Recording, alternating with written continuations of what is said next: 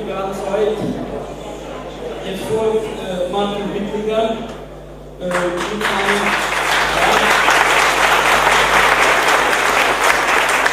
Der spielt erstmal den Schönwalzer und den Polka zwischen Donau und Heiß.